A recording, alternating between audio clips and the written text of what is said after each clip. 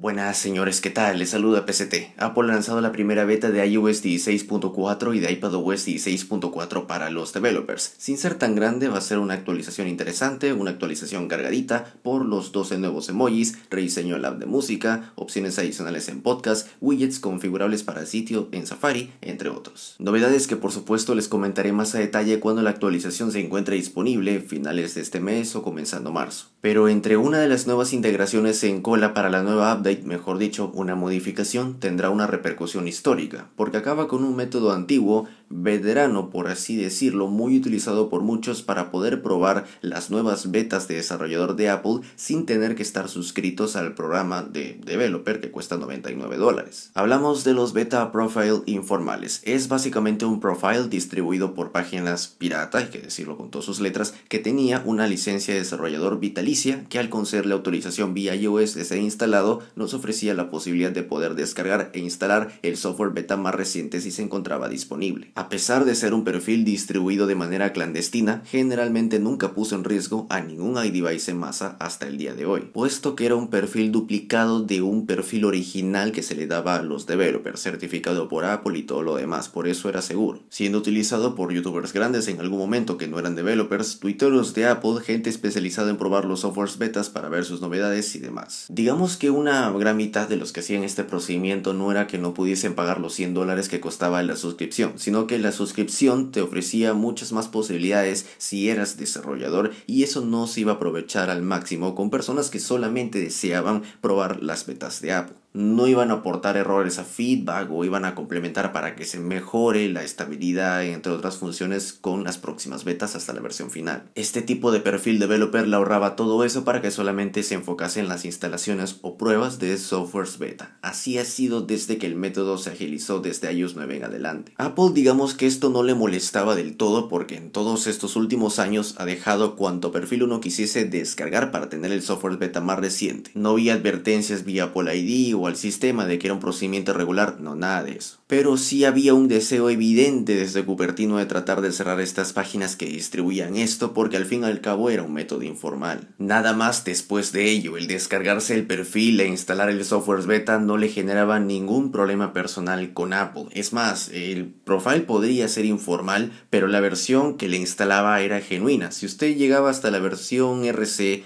que es la versión final por adelantado, le instalaba una versión por adelantado final original. Lo único informal era el profile. Apple ha sido súper tolerante en ese tipo de instalaciones. Otra empresa en su lugar, como Microsoft o Sony, eh, yo no sé qué hubiesen hecho. Algo así como dejar el teléfono inutilizable, eh, cancelar la cuenta.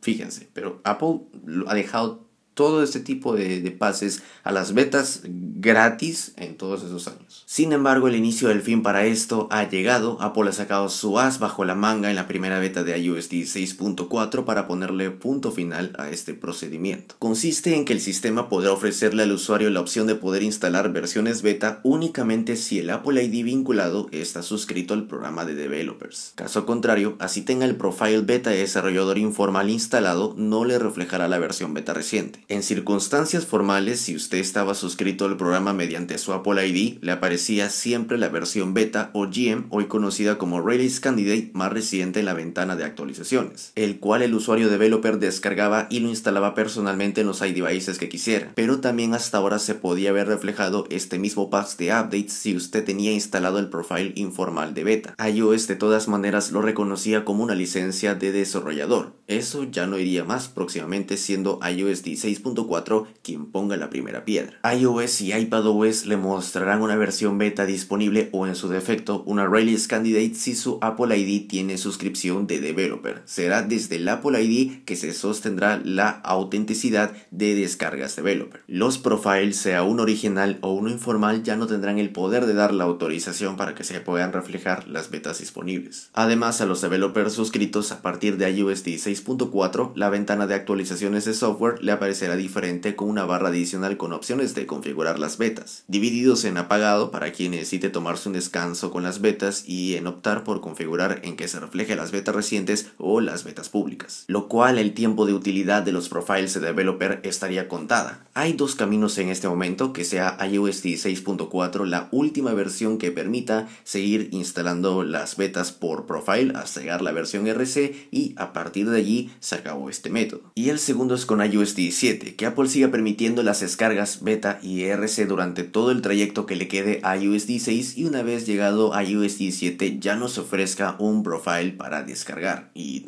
es simple de entender que si no existe profile para iOS 17 no hay forma en cómo tener su versión informal. Esto con la finalidad de Apple asegurarse que todo se encuentre en una versión estable, en una versión final no beta para poder cortar con toda la seguridad el flujo de los profiles. Comento estos dos caminos por las últimas palabras que Apple da a conocer en el comunicado de esta implementación. Allí dice que en una futura actualización de iOS o iPadOS el método por profile ya no será validado para poder acceder a las betas, lo cual hará que esperar después de iOS 16.4 si siguen apareciendo betas en los dispositivos con el profile informal o en profile oficial incluso o Apple esperará a iOS 17. Es cuestión de tiempo, pero se va a aplicar. ¿Algo que reprocharle a Apple con esto? Absolutamente nada. Más bien agradecerle de alguna manera de haber dejado durante muchos años instalar sus betas recientes de manera gratuita con el método informal de los profiles.